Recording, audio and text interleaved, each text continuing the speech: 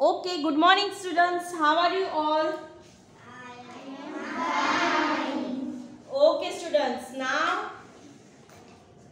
our chapter 16 weather तो weather chapter में हमारा कौन सा कौन सा कंप्लीट हो गया? Which season complete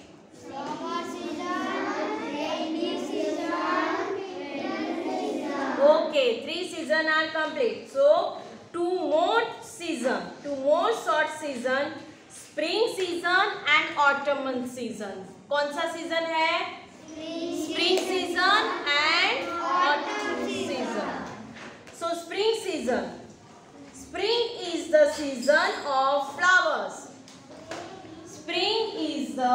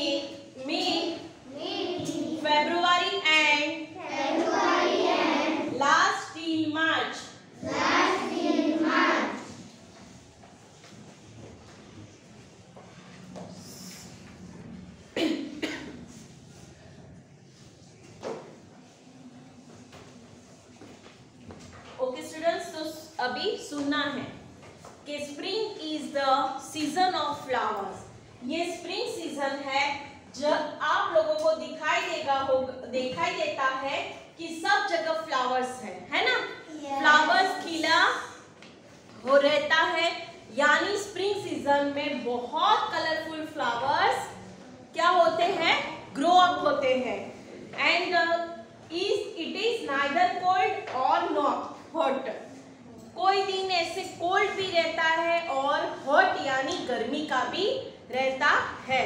okay so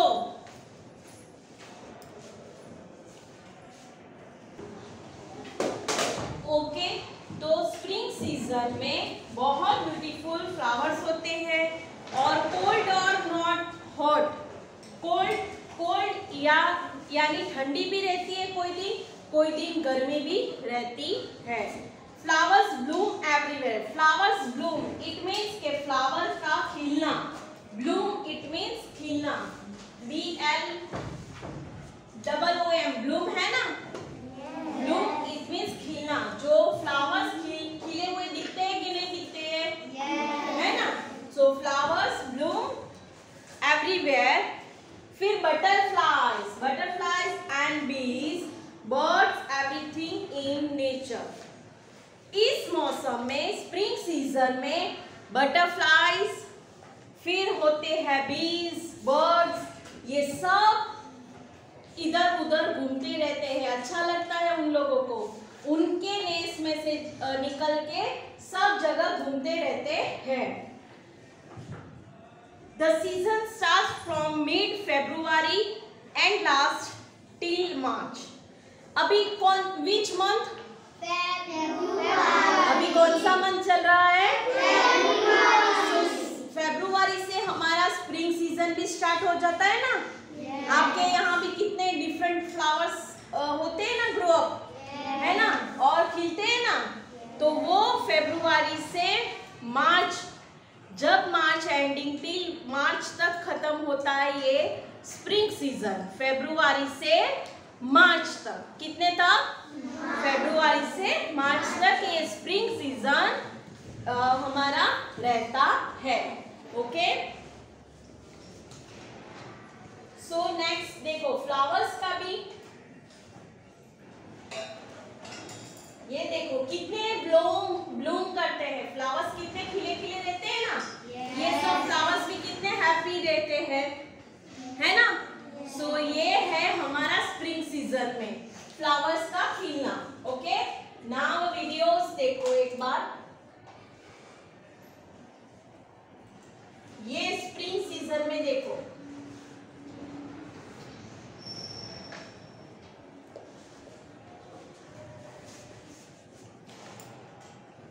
देखो स्प्रिंग सीज़न में क्या चल रहा है? कैसा हाँ फ्लावर्स भी खिला खिला रहता है सब लोग एंजॉय करते हैं ना? तो ये स्प्रिंग सीज़न का वीडियो है है ना? तो ये सब कितने फ्लावर्स है कितना गार्डन ग्रीन ग्रीन भी लगता है ना? हाँ तो उसको स्प्रिंग सीज़न कहते हैं है। ओके नेक्स्ट स्प्रिंग सीज़न का देखो। March, April and May.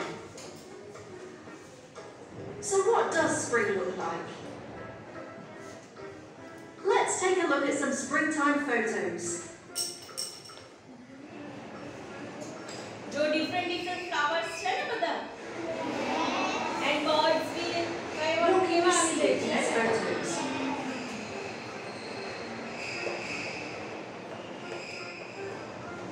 spring weather quite varied. Right up to the end of May, or even into June, spring nights can be frosty and cold. At the same time, the days can also be sunny and warm. You might notice that the hours of daylight get longer and longer during the spring months. It may even still be light when you go to bed. Spring is the season when we change our clocks to move them forward one hour. The length of the days increases as the season goes on, and the nights get shorter. The animals that have been in hibernation through the winter come out on the first warm spring days.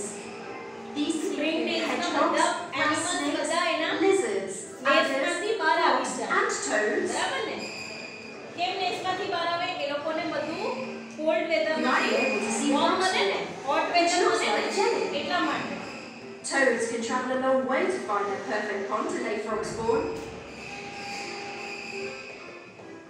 There are also millions of migrant birds that come back to the UK in the spring. So now you might be able to see swifts, cuckoos, nightingales, warblers and chiffchaffs.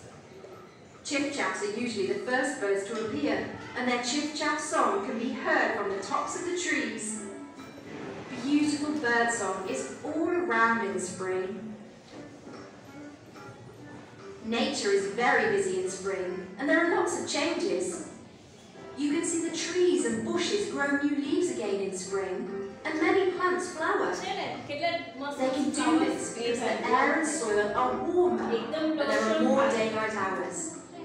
Blossoming is first, then leaves. Are you bees? Are you bees? Easter is a celebration that happens in spring. Okay. It started as a religious festival, and now many people celebrate it with Easter chocolate eggs and a game. Or Easter egg hunt. Easter Sunday always falls between the 22nd of March and the 25th of April. Easter Monday is a holiday where many people have the day off work